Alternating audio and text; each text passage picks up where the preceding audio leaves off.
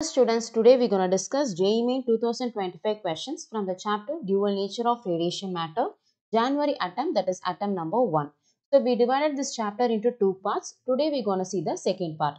Suppose if you didn't watch the first part, first part link is in the description. Do watch that video, it will be easy for you. And also we have a page in Instagram and WhatsApp channel. Do join in the channel to explore more regarding physics.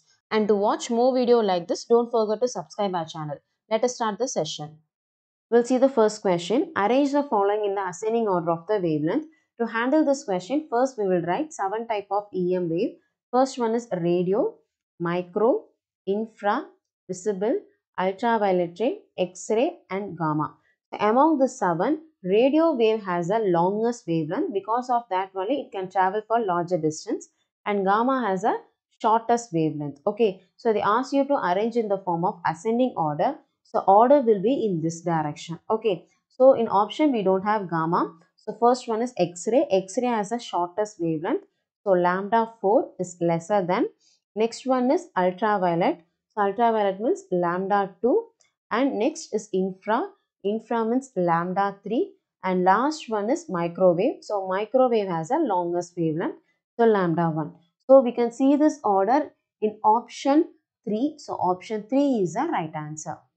Next question, an electron of mass m with initial velocity v is equal to v naught i vector enters an electric field E is equal to minus E naught k vector. If initial de Broglie wavelength is lambda naught, the value after time t is. They ask de Broglie wavelength, so we can take the equation lambda is equal to h by p. They asked in the form of velocity, so we can expand momentum that is mass into velocity. Okay, now we'll see the question. An electron which has mass m and also it has an initial velocity v naught enters an uniform electric field. So whenever a charged particle enters a uniform electric field, it will start to accelerate. And to find the acceleration, we have a formula in electrostatic chapter that is F is equal to QE that is equal to MA. Is it okay? And to find the acceleration, we can reform this formula. So A is equal to in the place of Q, since it's an electron, so we can substitute minus E, E by M. So this is acceleration. Okay. And from this, we can find the velocity also. And if it starts to accelerate means, surely the velocity will change. So first we have to find the velocity at a particular time t. So we can take equation of motion that is v is equal to u plus at. Okay. So they have given the initial velocity u as v naught i vector. So v naught i vector plus in the place of a we can substitute this. So plus minus e and electric field is minus e naught k vector.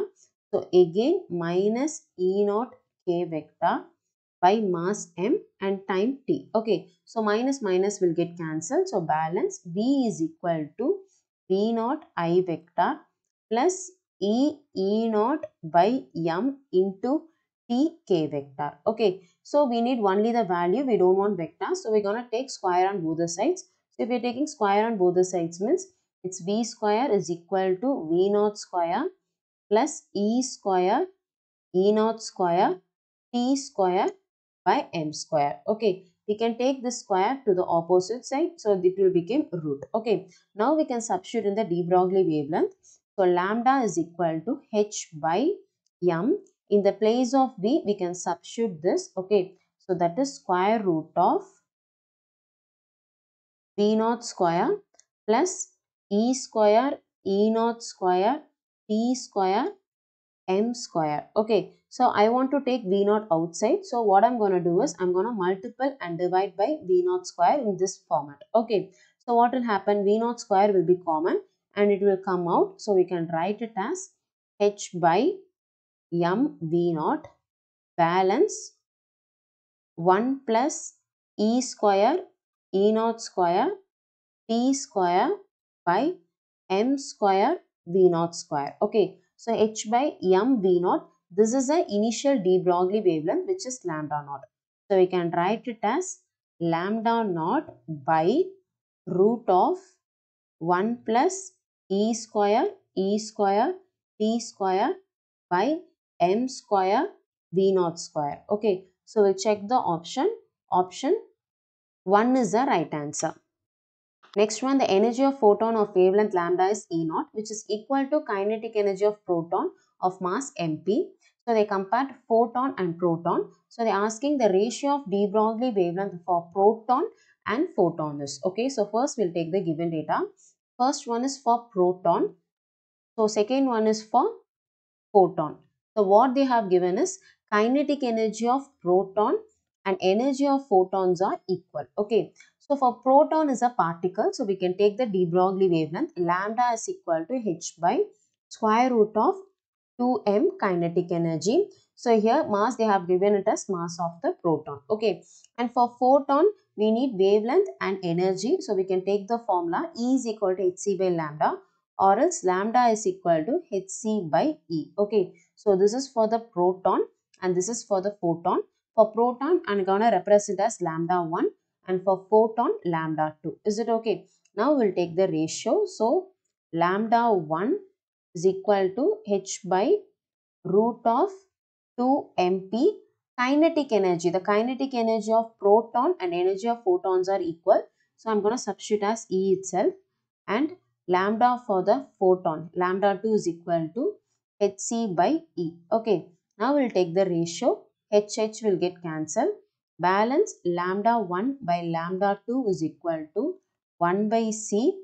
E will go to the numerator. So E by root of 2 mp into E. Okay, so I want to take the d inside. So I can write it as root E into root E. So root E, root E will get cancelled. Balance 1 by C root of E they have given it as E naught. So E naught by 2 mp. Okay, so check the option. Option 2 is the right answer. It's a theory question, assertion and reason. First one, emission of electrons in photoelectric effect can be suppressed by applying sufficiently negative electron potential to the photoemissive substance. So, negative electron potential means a stopping potential. Using stopping potential, you can control the photoelectric emission process. So, this statement is correct. For that reason, the negative electron potential which stops the emission of electron from the surface of photosensitive sub, uh, substance varies linearly with frequency of incident radiation. So, what they're telling is the stopping potential increases linearly with frequency. So, this is also a correct statement because we have seen a graph with respect to frequency and stopping potential.